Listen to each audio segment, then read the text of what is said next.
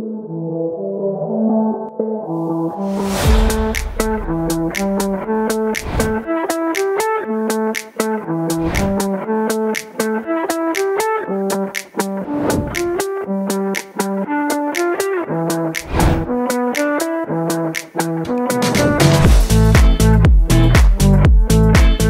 Leadership is a role, it's not an identity. Leadership is about being relevant, being bold and ambitious. The most important thing when it comes to leadership is for you to evolve. CEOs should reach out more and more. A founder should ask themselves, Am I the best person to run this company and take it to the next level? Leaders sometimes feel that all leaders must know everything. And I think that's definitely a miss. A CEO's job sometimes tends to be like a rubber ball with a lot of elastic bands kind of all over it. It's how you manage and what decision making you have despite those pressures. Nobody realizes the pulls, the pressures, the challenges which a CEO goes through. As a leader, your role is not to come up with the answers. Your role is to ask the right questions and empower your teams to come up with the right answers. A very important question to ask is what problem are you solving? The ability to continuously ask the hard questions because that's what really gets people learning, gets people going. The ability to manage yourself and your emotions. Good CEO is one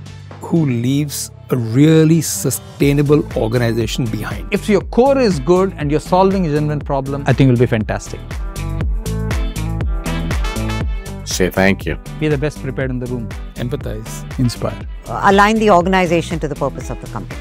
Be transparent, be honest. Listen to others. Carry your team along. Do what they say and say what they mean. Identify the right attributes that you want. Create enabling conditions. Lead from the front. Have great bounce back.